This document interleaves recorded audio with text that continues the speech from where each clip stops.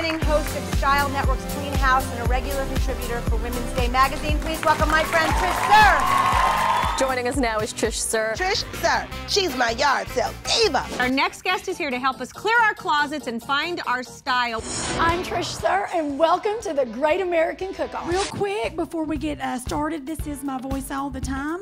I cannot wait to take your yard sale from sad and drab to fearsome fabulous. Well, our next guest clearly was out of control.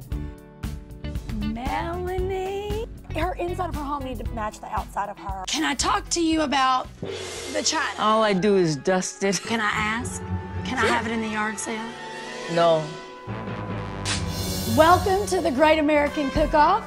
Y'all are here because you truly are the best of the best when it comes to breakfast. There's a twist, because there always is. You don't mess with a Southern woman. Uh-uh, hell no. Uh-uh.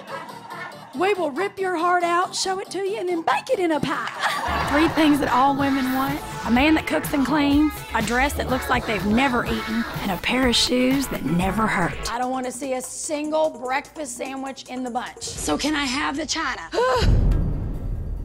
the time has come, guys. The restaurant that makes the best breakfast in America is... Because everybody knows that bless your heart really means go screw yourself. These are three individuals that are all interested in the china. She's got 160. Do I hear 170? 170? 65. 180. 180. Oh, a good old-fashioned yard sale fight. I love it. I'm Trish Suhr, guys. Thank y'all so much.